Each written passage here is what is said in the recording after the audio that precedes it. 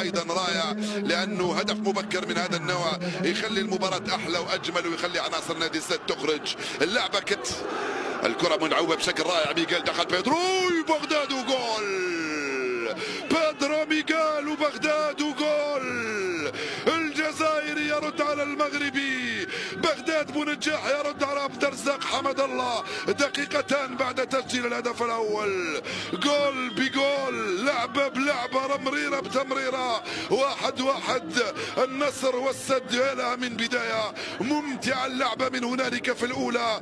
بين يحيى الشهري وعبد الرزاق حمد الله ورائع اللعبه هذه. بين بيدرو ميغيل الذي انفرد على الجهة اليوم